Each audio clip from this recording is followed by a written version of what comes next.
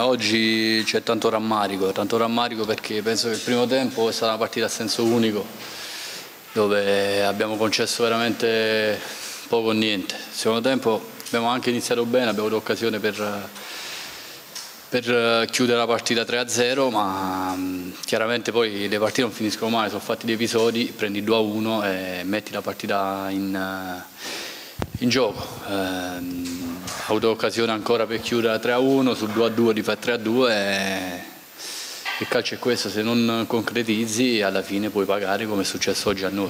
Ma eh, Serie un campionato duro, eh, non trovo differenze sinceramente, dieci anni che faccio questo campionato ogni anno eh, ci sono sempre tante difficoltà, eh, avversari forti, giocatori forti, mh, mm, niente scontato, il nome a volte non conta, eh, c'è sempre un campo dove devi dimostrare.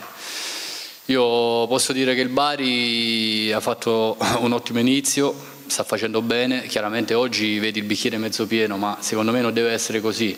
Eh, dobbiamo continuare su questa strada, eh, su questa strada eh, chiaramente possiamo fare di più, possiamo fare meglio. Eh, siamo dispiaciuti per oggi perché parliamoci chiaro, oggi sono due punti, due punti persi.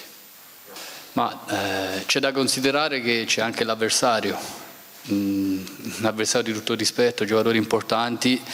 Eh, in campo non c'è solo il Bari, va, va dato anche merito all'avversario Secondo me a spalle il secondo tempo, con l'episodio che avrei aperto la partita, ehm, dopo ha iniziato a, a, fare possesso, a, fare, a, giocarci nella nostra metà campo, eh, hanno fatto anche qualche complimento a loro. Eh, noi ci abbiamo messo del tutto, eh, ripeto, abbiamo avuto tanto anche sul 2 a 2 di fare ancora il 3 a 2, abbiamo avuto tante occasioni, quindi non ci siamo risparmiati.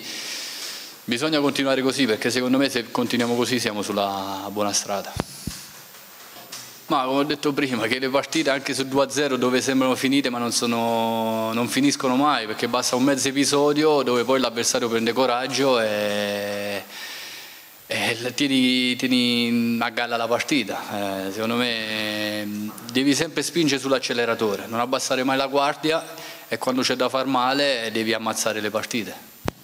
Ah, sicuramente Mattia è un giocatore importante per questa, per questa squadra ma cioè, non è il fatto che è uscito Mattia e ci siamo, abbiamo concesso agli avversari diciamo, le, le, occasioni. E ripeto, eh, in campo tante volte c'è anche l'avversario, a volte si tende so, sempre a guardare diciamo, se si commettono errori o no, ma secondo me mh, la squadra ha fatto un'ottima partita e ripeto come ho detto poco fa, va dato merito anche all'avversario perché mm, eh, la SPAL è un'ottima squadra, chiaramente noi potremmo fare di più, dove, perché sinceramente siamo tutti dispiaciuti perché 2-0 non puoi pareggiare una partita del genere.